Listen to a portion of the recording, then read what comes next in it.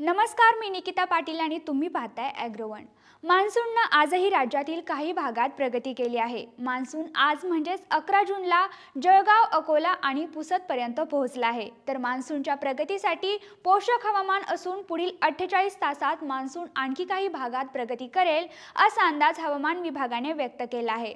मान्सूनने आता राज्याचा निम्मापेक्षा जास्त भाग व्यापला आहे. मान्सून राज्यात धुळे जळगाव बुलढाणा अकोला वाशिम आणि यवतमाळ जिल्ह्यात पोहोचला आहे.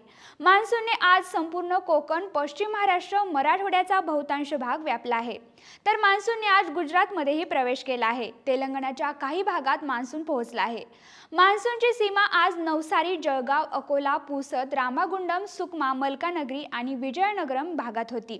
तसेच मान्सूनच्या वाटचालीसाठी पोषक हवामान आहे. त्यामुळे पुढील अठ्ठेचाळीस तासांमध्ये मान्सून तेलंगणा आणि छत्तीसगडच्या आणखी काही भागात प्रगती करेल असाही अंदाज हवामान विभागाने व्यक्त केला आहे.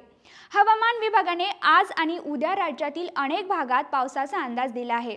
आज कोकणातील सिंधुदुर्ग आणि रत्नागिरी जिल्ह्यात अनेक ठिकाणी जोरदार पावसाचा ऑरेंज अलर्ट देण्यात आला आहे.